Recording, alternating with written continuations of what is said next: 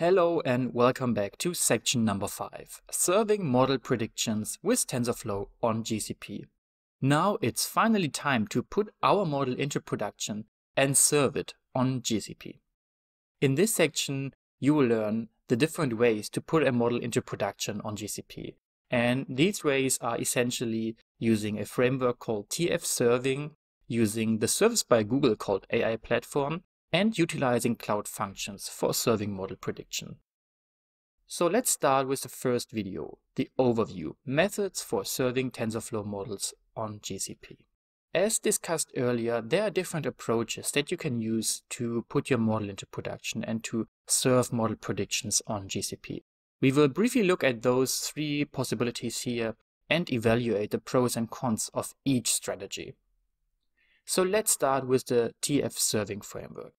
As you might recall from our videos before in the TensorFlow architecture, a dedicated service for deploying TensorFlow models in a production environment.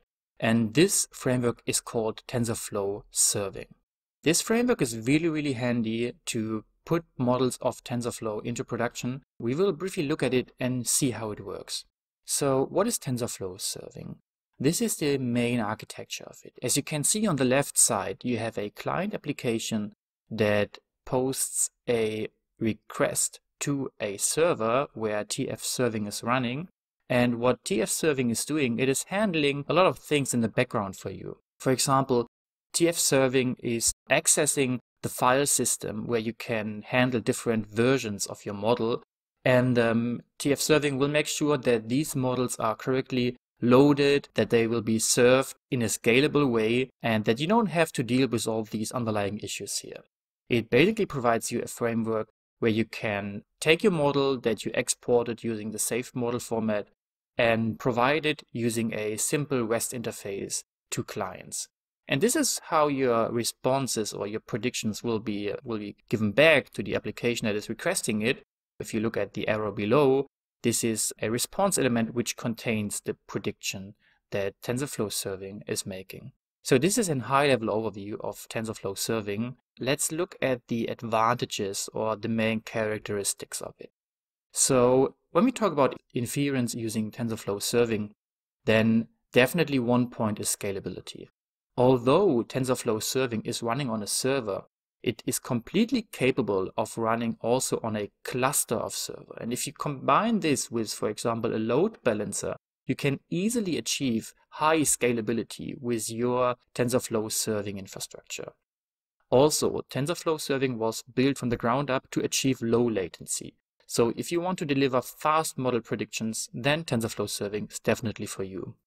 Also, TensorFlow serving was built especially for multiple models and multiple model versions. It is clear that in a production environment, you need to update your model, you need to keep track of different versions of it, and TensorFlow serving helps you to organize this and to access the model version that you actually need for a specific purpose. It is completely production ready, so TensorFlow serving is nothing that is experimental. You can use it in a production environment. It is battle tested in, in a real environment, so you can use it for your daily workflows. On the downside of it, maybe, is that of course, TensorFlow serving is a framework that needs to be installed on a server, so there is definitely some server handling or cluster handling required or involved. So I'd say these are like the main characteristics or points that you would need to know for TensorFlow serving. For now, we will implement it later on, but for now, let's proceed to the next option or the next way to put models into production on GCP. And this is AI platform. Now, what is AI platform? We discussed it already in the first section of this course where we said that AI platform essentially is the workbench that caters the whole ML process from ingesting data up to developing your model, training your model, testing it, and finally also deploying the model. And this is where we are going to talk about now, the specific feature of AI platform, which is called AI platform predictions. So what is that? And what's the main purpose, main goal of it? Of course, AI platform predictions is highly scalable. This service was built from the ground up to completely cater any scale that you could imagine. AI platform is running completely serverless, and that means you don't have to worry about scalability essentially, because this will be handled for you in the background. It also provides low latency, of course, because essentially TensorFlow serving is also powering AI platform. So you can imagine AI platform predictions a bit like a serverless version of TensorFlow serving. So it also supports multiple models and versions, so you get the whole benefits of TensorFlow serving. It is production ready, of course. It's a paid service by Google.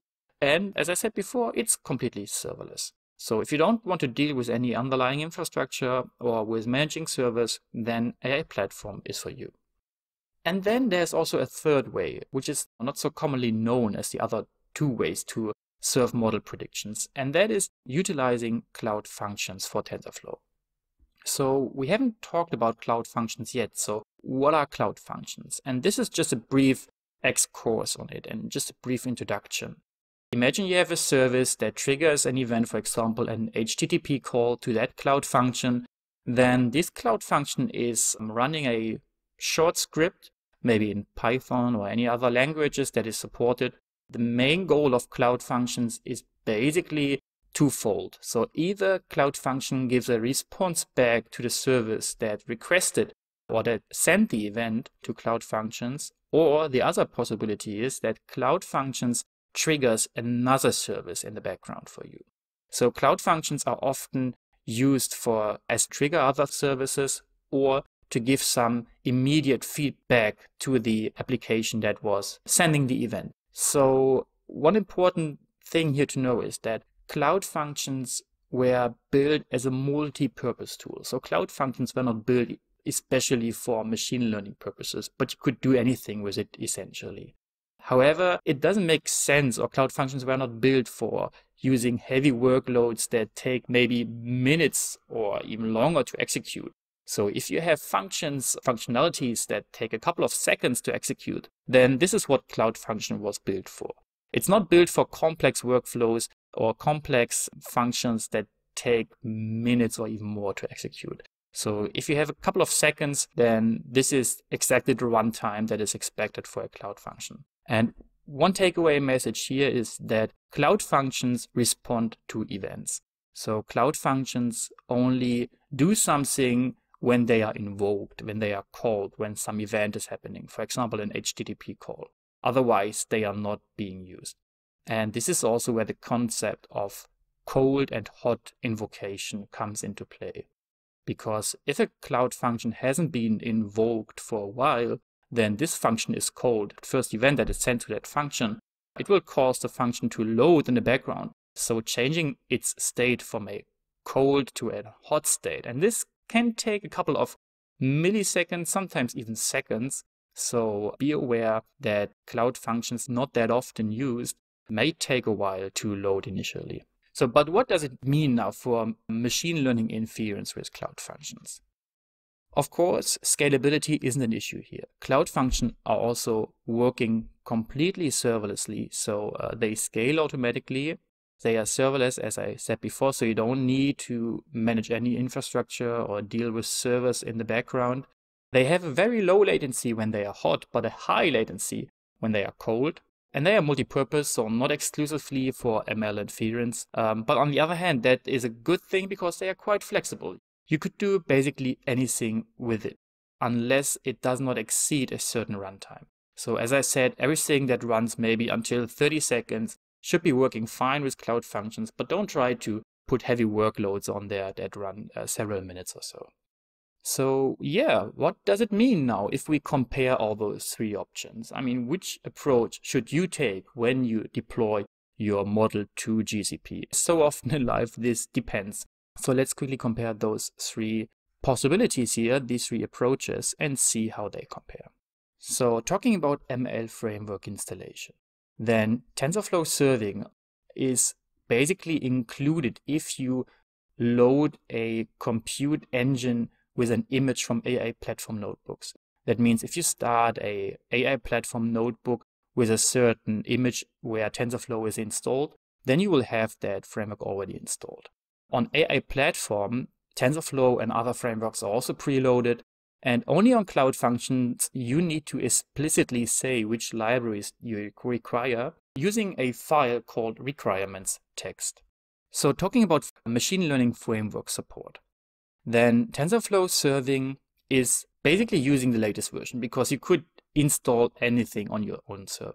AI Platform is a service, a managed service for you, so it has only predefined versions. And for example, by the time of this recording, AI Platform does not support TensorFlow 2, so I expect it to happen in the near future. But if you are, for example, working with beta releases or anything that was just released, then this typically takes some time before it is available on AI platform.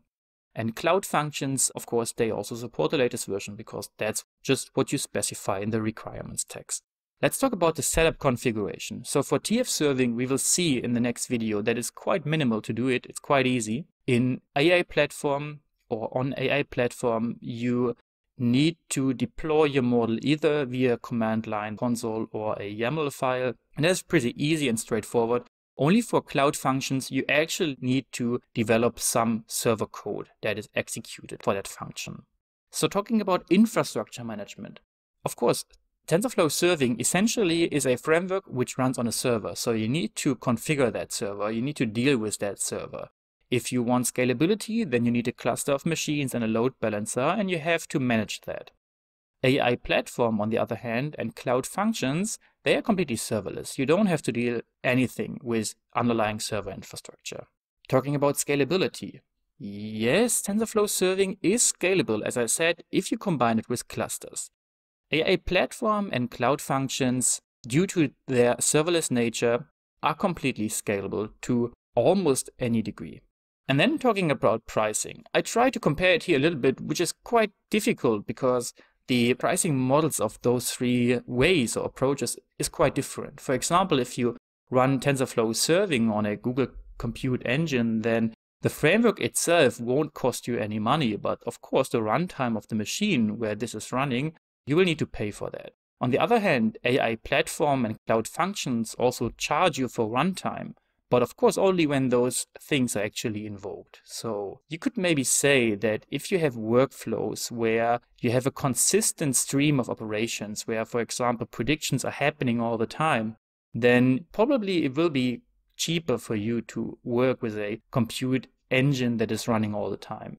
But if you have like peak workloads where you have something happening during certain times of the day, for example, where you have certain peak workloads, then AI platform in the end might even be cheaper for you, although the uh, price per hour is definitely higher here compared to a Google Compute Engine. And last but not least, where should we use these techniques? So how about the use for inference in production environment? Which of these tools can we use for production environment? As I said before, TensorFlow serving and AI platform were built for this. So yes, definitely, you can use them in a production environment. Cloud function, I put a no here. Why did I put a no? Because of course, cloud functions can be used in a production environment. But for machine learning purposes, it's just that they were not exactly built for this. You don't have the comfort that you get, for example, from TensorFlow serving or AI platform. And this is, for example, a constant stream of low latency. You have to deal with hot and cold functions, for example, so that is an issue. It's not so easy to handle different model versions, and the whole workflow behind it was not made for machine learning tasks. So I would say it's good. Cloud functions can be utilized, for example, if you have a model and you want to try out a serverless approach, or you want to quickly deploy it without scaling or without installing any server and doing all that overhead. So um, Cloud functions can be used, for example, as a way to test some things out in a serverless way or to transition from a compute engine environment to a serverless environment. This is where it's really good at because it's also or still quite easy to set up, but I would not recommend it using in a production environment for machine learning purposes. All right, so now that we have talked about the different ways and compared them, yeah, let's do a quick recap here. So we learned about the TensorFlow serving framework. We learned about the benefits of TensorFlow serving and the benefits of AI platform. We briefly introduced cloud functions and how to, what advantages inference using cloud functions has. And also we briefly talked about cloud functions and what it means to do inference using cloud functions. And we compared all three approaches and which to use in a production environment.